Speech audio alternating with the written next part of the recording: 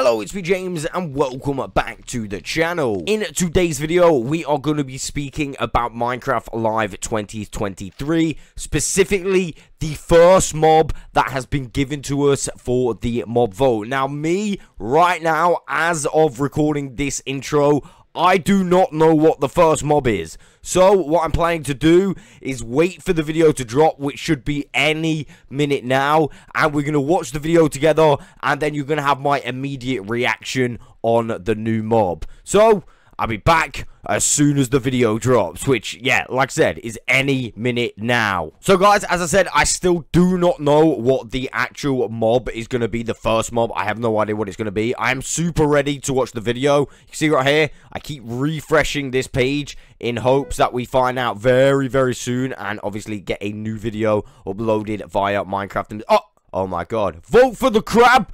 Dude, it's already out. It was out two minutes ago. Quick, we need to watch this right now. Let's go. Look, there's something on that beach over there. Could it be a new mob? Maybe it can help us get unlost. We're not lost. We're following my super secret shortcut. Let's see who gets to live first. Oh, Tiny Vu has found a crab. One of the new mobs that wants to join Minecraft. It lives in mangrove swamps, like this one.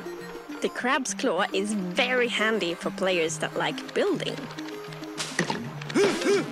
Yes, uh, because crab claws allow players to place blocks further away. This is colossum. To Minecraft Live. Do you want the crab to become Minecraft's new mob? Voting opens on October 13th at 1 p.m. Eastern Daylight Time, and you'll have 48 hours to cast your vote.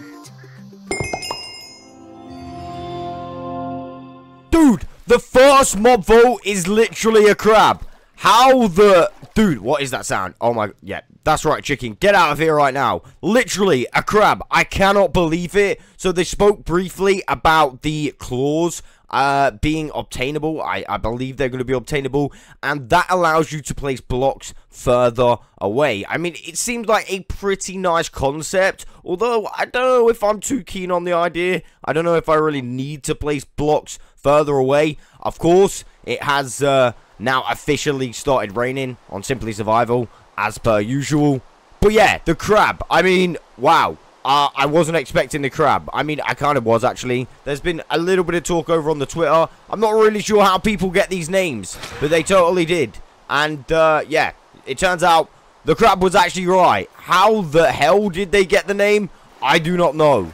So, as I just said, I did see uh, the crab was uh, actually already getting added via, I mean, it must have been a leak. So, I believe the other ones that are going to get added are as followed, okay? So, we obviously know about the crab. Apparently, a jellyfish is going to get added and also a seagull. Again, the other two are not confirmed, but the crab was absolutely bang on. So, maybe it is going to be a jellyfish and a seagull.